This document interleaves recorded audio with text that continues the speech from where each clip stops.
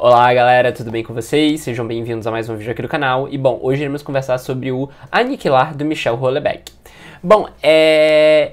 Esse não é meu primeiro com Houellebecq, já conheço ele de outros carnavais, aliás, carnavais muito bons, né? Ele dele Submissão, Plataforma e Serotonina, né? Os livros dele publicados pela Alfaguara, ele tem alguns outros livros publicados pela Record e pela editora Sulina, que eu não tive a oportunidade de ler, enfim, pretendo ler em algum momento aí dos próximos anos.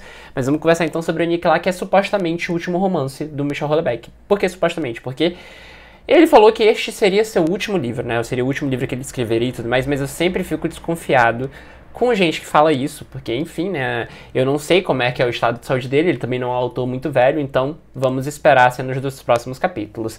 E, aliás, eu ficaria muito triste se esse fosse o último livro dele, porque enfim, vou, vou comentar com vocês aqui, né? Vou falar um pouquinho sobre como foi a minha experiência de leitura do Aniquilar.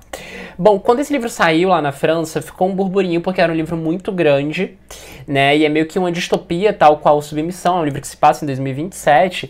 Enfim, teve todo mais esse, além de todo o burburinho de qualquer livro que ele publique, né? Porque é sempre é conhecido com alguma tragédia, né? Ou algum, alguma coisa que vai mexer no debate público é, este, como eu falei para vocês, foi vendido como o último livro dele. Enfim. É, e aí, conheço algumas pessoas que são muito fãs do Houellebecq, né? Que leem em francês, etc. E que leram Aniquilar em francês. E assim, uma pessoa me falou que esse livro não era bom. Assim, e eu fiquei. Hum, tá, não sei se leio, porque, enfim, 400 páginas, né? Na verdade, a edição brasileira acho que tem 500 páginas, né? Que saiu aqui pela Alfaguara.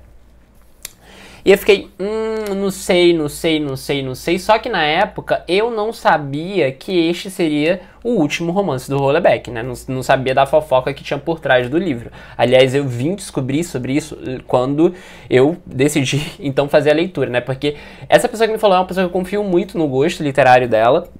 E quando ela me falou, eu falei, putz, nossa, se, se esse meu amigo aqui tá falando isso, né, enfim, deve ser, deve ser meio ruim, que ele falou que era meio que repetitivo, né, que ele caía num clichê sem fim, e ela, no final das contas eu concordo com esse meu amigo. Mas vamos lá, sobre o que é que se trata o Aniquilar? Bom, no Aniquilar a gente vai acompanhar então o Paul, que é um homem ali de 49 anos que trabalha para, o mini, para um dos ministros ali da França, né? Um ministro da economia, se eu não me engano, que é o Bruno.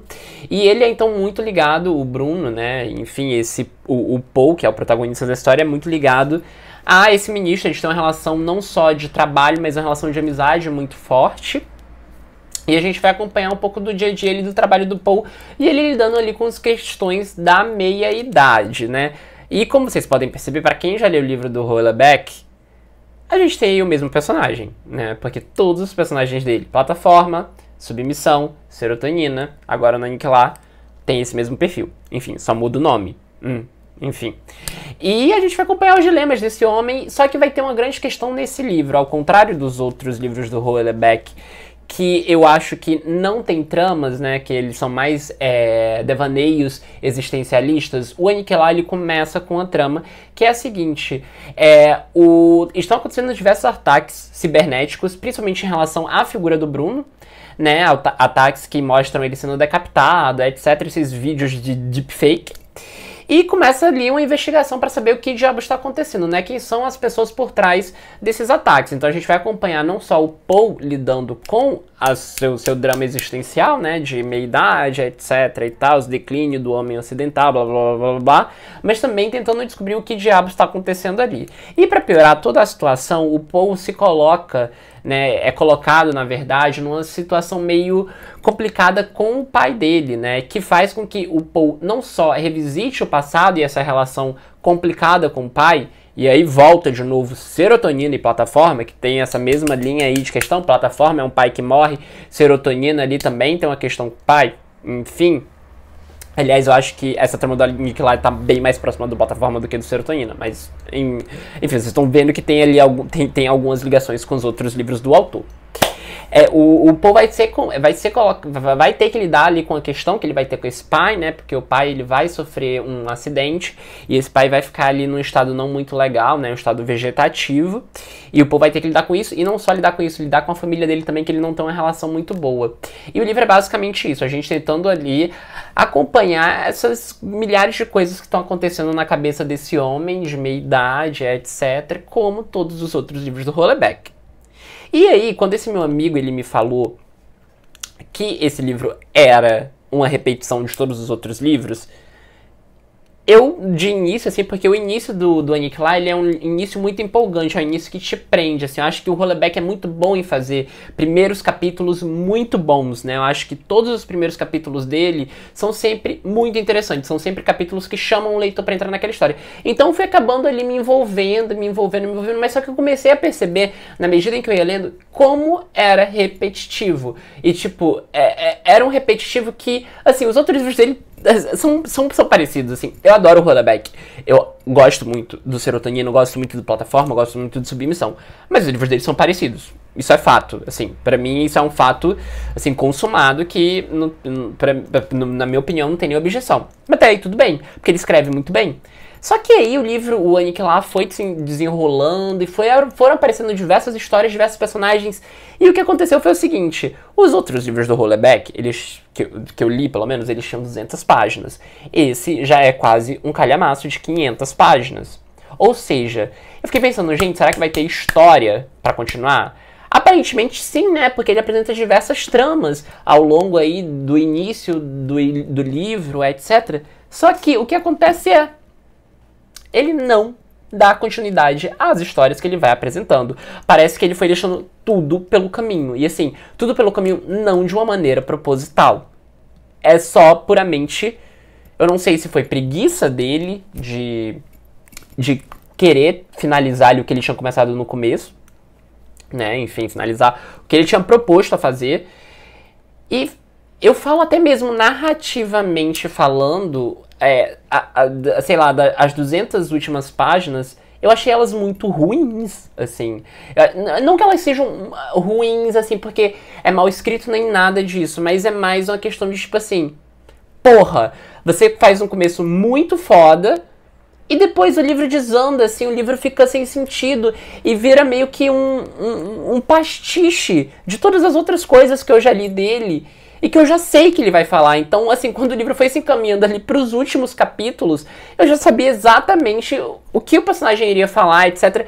E aí ele vai colocando uma série de situações que para mim não funcionaram de jeito nenhum narrativamente falando. Assim, o livro ele levanta debates muito interessantes sobre a sociedade contemporânea, né, sobre o pensamento ocidental nos dias de hoje assim, é, é, o Rolleback é muito bom em suscitar debates e, e suscitar questões ali, levantar, levantar, a, a, levantar o tapete mostrar a poeira que está embaixo, né? Eu acho ele, que ele faz isso bem no Aniquilar, acho que tem ali debates muito bacanas sendo trabalhados, né? A questão da tecnologia, até mesmo questão política. Aliás, o Aniquilar é um livro muito político.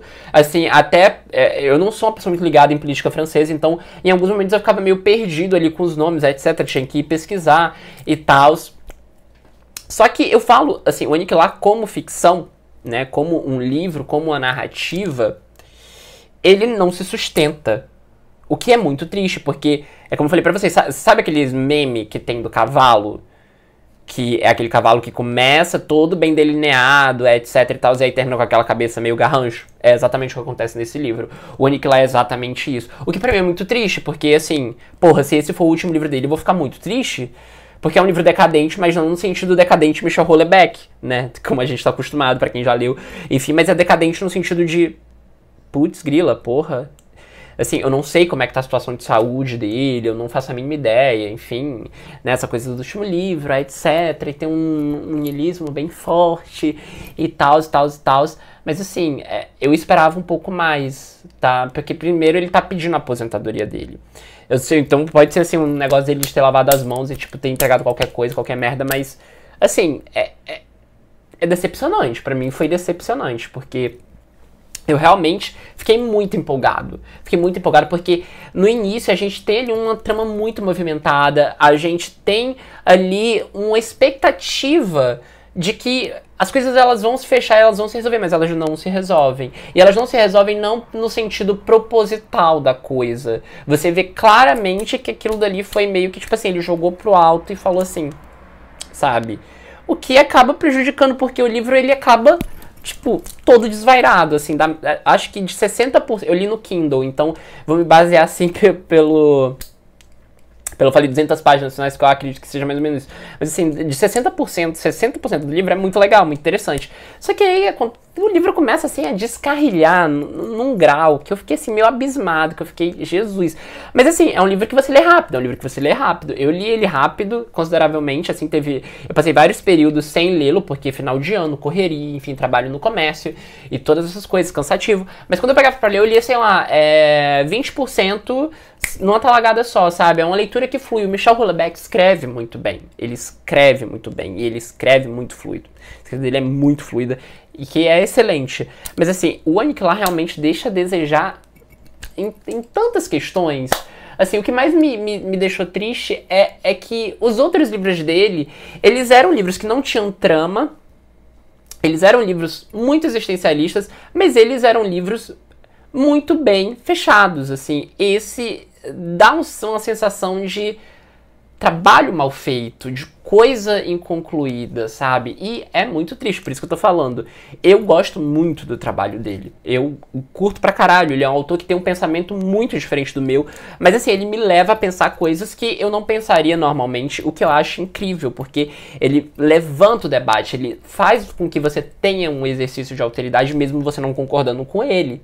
E aí me vem esse último livro dele, né? Que pra uma pessoa que, tipo, o, o, penúltimo livro dele é o Serotonina, que é um livro que eu acho excelente. E aí vem o Aniquilar e você fica assim. Hum, hum, hum, hum. Sabe? Eu fico um pouco triste, né? Porque não tem muito que eu possa fazer, né? Eu, como leitor, não tem muito que eu possa fazer.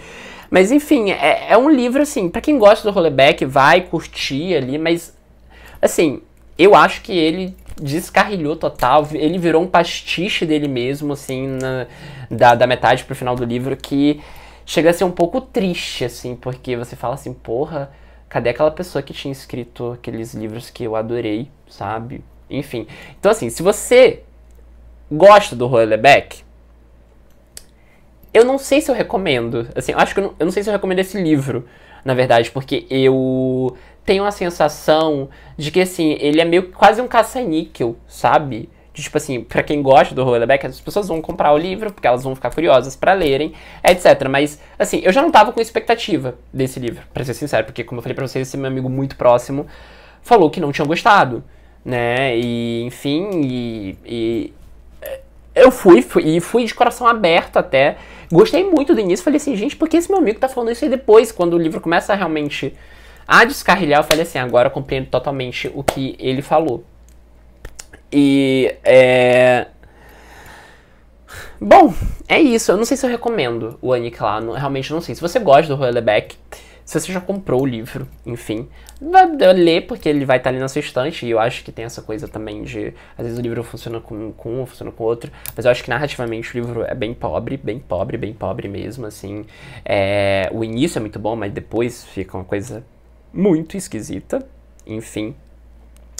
Não sei se. É, é difícil, eu tô, tô, me enrolando aqui, mas é porque eu não sei se eu recomendo esse livro até para quem gosta. Porque eu não sei, não sei se vale a pena. Sinceramente, assim, eu não sei se vale a pena. para mim não foi uma leitura que valeu a pena. Assim, foi uma leitura que eu fiquei meio desgostoso, sabe? Mas enfim, vai e veja, né? Vai e veja. Você gosta. Se você nunca leu o Rollerback, ou se você já leu o Rollerback e não gostou, não vai ser com esse que você vai gostar, tenho certeza absoluta disso. Até porque esse é, como eu falei pra vocês, uma mistura de todos os outros livros, pelo menos os que saíram pela Alfaguara, todos os outros livros. Todos, todos. Sem, sem assim, sem, sem, sem nem, nem, nem pensar muito. Mas enfim, se você não conhece o Rollerback, recomendo você começar ou pelo Submissão, ou pelo Serotonina, ou pelo Plataforma. Três livraços, três livros incríveis, assim, que você vai ver o autor na sua melhor forma, porque o Aniquilar realmente é de lascar, é de doer, assim. Eu fiquei, eu fiquei realmente bem desgostoso. Terminei, assim, com, com a sensação, sabe? Tipo, uma sensação não ruim, mas uma sensação de tipo, porra, tinha tudo para ser fantástico. Tudo, tudo, tudo, tudo para ser fantástico. Mas não foi. E vida que segue, gente. É isso, vou ficando por aqui. Essas provavelmente vai ser um dos últimos vídeos que vocês vão ver esse ano. Eu tô terminando de ler um outro livro que vai ter vídeo aqui também. Eu vou fazer o, o, o vídeo de melhores leituras, porque, aliás, as minhas melhores leituras desse ano, né, pelo menos as cinco melhores, não tem vídeo aqui no canal. Pra vocês verem. Não, quer dizer, eu acho que duas tem. Ou as outras três não tem porque eu não consegui gravar. De tanto que eu gostei desses livros. E eu preciso compartilhar isso com vocês, tá bom? É isso, eu vou ficando por aqui, tá? Um beijo e até o próximo vídeo.